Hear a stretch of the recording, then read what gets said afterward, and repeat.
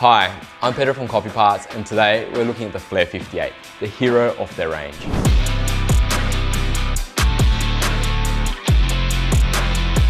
So to me, it almost feels like you've got your main machine, especially if you drink milk at home, and you have this as your weekend warrior toy.